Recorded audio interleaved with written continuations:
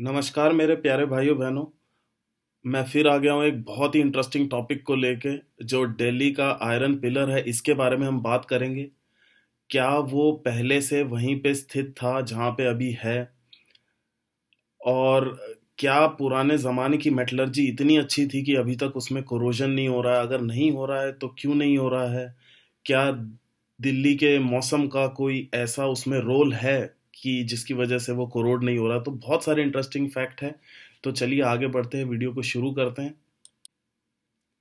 तो वीडियो को शुरू करने से पहले मेरा नाम है सुमित और आप देख रहे हैं डिजी टेक टॉक साइंटिफिक चीज़ों को फैक्ट्स को आपके सामने लाना, उनको अच्छी तरह एक्सप्लेन करना, यही इस चैनल का मेन मोटिव है। तो चलिए शुरू करते हैं वीडियो को। तो आइए सबसे पहले कुछ इंटरेस्टिंग फैक्ट जान लेते हैं। इस आयरन पिलर के बारे में तो ये दिल्ली में स्थित है, ये सबको पता है। सोलह सौ साल पुराना है और तब भी खड़ा हुआ है बिना किसी कोरोजन के। छः टन इसके अंदर जो रॉट आयरन है 99.9 परसेंट प्योर आयरन लगा हुआ है इस पिलर के अंदर। डिफरेंट डिफरेंट ब्लॉक्स को काट के फिर एक साथ वेल्ड करके इसको बनाया गया था। और ऐसा माना जाता है कि ये सांची जो मध्य प्रदेश में जगह है, वहाँ पे बनाया गया था इनिशियली जो कि हमको पता चलता है इसके ऊपर जो लिखे हुए छह लाइंस है संस्कृत में। उनके ऊपर चंद्रा लिखा गया है और इसको माना जाता है कि चंद्रा गुप्ता टू को ये इंडिकेट करता है, ये सिंबल और 1233 में इस पिलर को इसकी करंट लोकेशन पे लाया गया था। और काफ़ी ज़्यादा फ़ेमस है ये लोग, काफ़ी ज़्यादा लोग आते हैं इसको देखने के लिए। ये दिल्ली के कुतुब कॉम्प्लेक्स में अभी स्थित है। तो शुरू करते हैं बहुत ही इंटरेस्टिंग फैक्ट के साथ कि why it is not rusting क्यों ये रस्ट नहीं हो रहा है? क्या रीज़न है? क्या कुछ स्पेशल मटेरियल इसमें लगाया गया था पुराने ज़माने में? क्या इंडियन मेटलर्जी पुराने ज़माने में इतनी ज़्यादा एडवांस थी? तो रिसेंटली काफ़ी स्टडीज़ हुई हैं। उसमें से दो स्टडीज़ मैंने आपको यहाँ पे दिखाई है। एक आर बाला सुब्रमण्यम जी ने, जो आईआईटी कानपुर के प्रोफेसर है, उन्होंने काफ़ी अच्छा इसके ऊपर कोरोजन साइंस जर्नल में पेपर लिखा है। उसके बाद दूसरी स्टडी है जो मुदली जी ने लिखी है और इसमें भी इन्होंने काफ़ी अच्छी तरह एक्सप्लेन किया है कि क्यों रस नहीं हो रहा। तो इन्होंने अपना रीज़न जो यही लिखा है कि भाई इसके अंदर बहुत ज़्यादा फॉस्फोरस था। उनको जो मिला फॉस्फोरस की वजह से इसके अंदर जो है कोरोजन रेसिस्टेंस डेवलप हो गया। तो चलिए पता करते हैं कि ये फॉस्फोरस आया कहाँ से। तो अगर हम लोग पुराने ज़माने की स्टील मेकिंग और अभी की जो स्टील मेकिंग प्रोसेस है, उसके अंदर का डिफरेंस देखें तो अभी के ज़माने में ब्लास्ट फर्नेस में क्या करते हैं?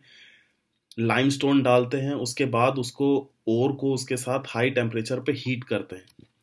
तो उसमें क्या होता है कि जो स्लैग होता है, उसमें ज़्यादातर फॉस्फोरस आपका निकल जाता है, जो आजकल की आयरन मेकिंग प्रोसेस है ब्लास्ट फर्नेस के अंदर। पुराने ज़माने में वो डायरेक्ट कोल को मिक्स कर देते आयरन ओर के साथ। और नॉर्मली उसको निकाल लेते थे प्यूरिफाई नहीं करते थे।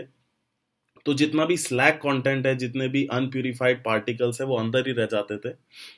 और ये लोग इसको सॉलिडिफाई करके फिर उसको हैमर करते थे।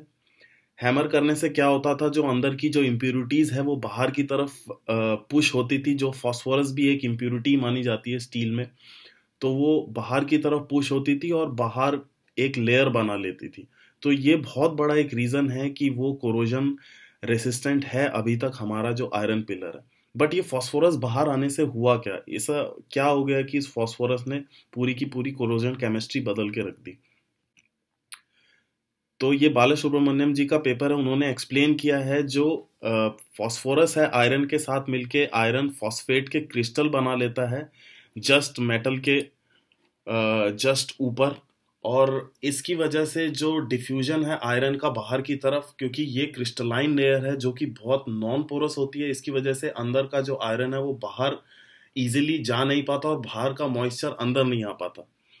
तो अब इसमें हम लोग ये सोचेंगे कि इसमें दिल्ली के क्लाइमेट को भी बोला जाता है कि भाई दिल्ली के क्लाइमेट की वजह से भी ये कोरोजन नहीं हो रहा है। तो दिल्ली का क्लाइमेट का इसमें ये रोल है कि जो ड्राई और वेट सीज़न जो दिल्ली में बहुत एक्सट्रीम होते हैं तो जिसकी वजह से जो ऊपर एक और प्रोटेक्टिव लेयर बन जाती है, जो आयरन हाइड्रोक्साइड कहते हैं जिसको, उसके ऊपर फिर हेमेटाइट मैग्नेटाइट जो कि आयरन ऑक्साइड की नॉर्मल है। इनकी पोरोसिटी काफ़ी कम होती है और बेसिकली आयरन हाइड्रोजन फॉस्फेट की बनने की वजह से इसके अंदर ज़्यादातर मॉइस्चर जा नहीं पाता है और मेटल काफ़ी दिनों तक सिक्योर रहता है। इसका कोरोजन रेट बहुत ही ज़्यादा लो है, बहुत ही ज़्यादा कम है इस मटेरियल का। तो आप लोगों के दिमाग में सवाल आ रहा होगा कि हम लोग इसको आजकल के उसमें यूज़ क्यों नहीं करते? तो आजकल हम लोग इस चीज़ को यूज़ कर सकते हैं। स्पेसिफिकली कोरोजन रेसिस्टेंट एक बहुत बड़ी प्रॉब्लम नहीं है आजकल की स्टील मेकिंग में। स्टील की स्ट्रेंथ को भी देखा जाता है। स्टील की जो बेंडिंग स्ट्रेंथ है, जो क्रैक प्रोपोगेशन प्रॉपर्टीज़ है, उन सबको भी देखा जाता है। तो एज अगर आप सिर्फ़ एक ऐसा मटेरियल बनाना चाहते हैं जो कि शो ऑफ़ के लिए है तो उसके अंदर आप ये टेक्निक बहुत इजीली यूज़ कर सकते हैं कोरोजन को रोकने के लिए। तो यही सारे इंटरेस्टिंग फैक्ट्स थे, जिसकी वजह से हमारा आयरन पिलर अभी तक रस्ट नहीं कर रहा है। आशा करता हूँ आपको वीडियो अच्छी लगी हो। अगर अच्छी लगी हो तो प्लीज़ प्लीज़ प्लीज़ एक लाइक एक सब्सक्राइब तब तक के लिए अपना ध्यान रखें। मिलते हैं नेक्स्ट वीडियो में। Take care and goodbye